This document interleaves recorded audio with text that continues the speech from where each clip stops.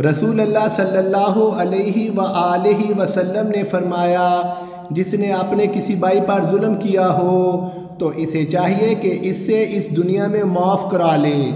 इसलिए कि आखिरत में रुपए पैसे नहीं होंगे। इससे पहले कि इसके भाई के लिए इसकी नेकियों में से हक दिलाया जाएगा। और अगर इसके पास नेकियाँ ना होंगी तो इस मज़लूम भाई की बुराइयाँ इस पर डाल दी जाएँगी। रसूल अल्लाह सल्लल्लाहु अलैहि वसल्लम ने फरमाया अपने आप को बदुआ ना दो, अपनी औलाद को बदुआ ना दो, अपने खादमों को बदुआ ना दो, और अपने मालों को बदुआ ना दो। ऐसा ना हो कि वो अल्लाह की तरफ़ से अताओ कबूलियत की गरी हो। इधर तुम कोई बात दुआ करो कि अल्लाह ताला इसे तुम्हारे लिए कबूल कर ले।